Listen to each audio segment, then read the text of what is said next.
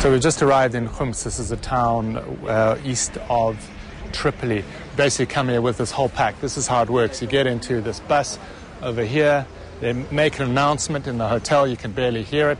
Everyone goes running downstairs, and then they tell you where you're going. There's absolutely no media freedom to wander around, to do what you normally would do, which is to find a local person to help you, to go to a market, to talk to people, to gauge what is going on. This is what it's like. It's basically the government trying to constrict, control, give their side of the story, and all these journalists try to get the real side of the story.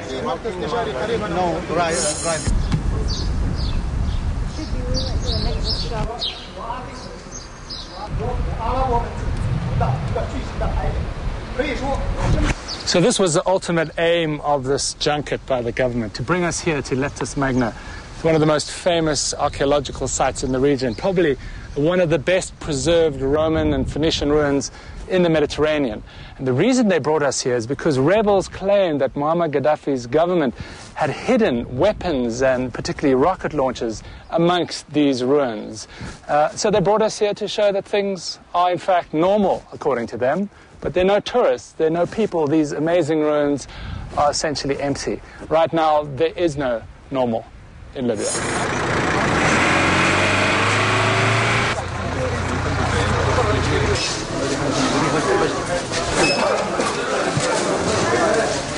Now, obviously, the point of this is for us to see that situation normal, right?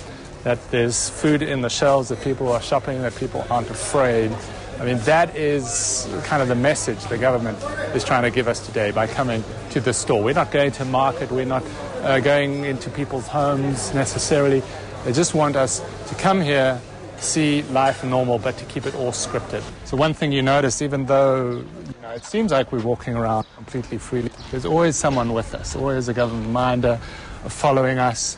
This guy's right behind us. He will kind of check on what's going on, listening into the conversations, and uh, basically it's his job just to kind of keep tabs on us. So, you know, it's kind of a false freedom that we have to deal with here. But it's better than nothing, right?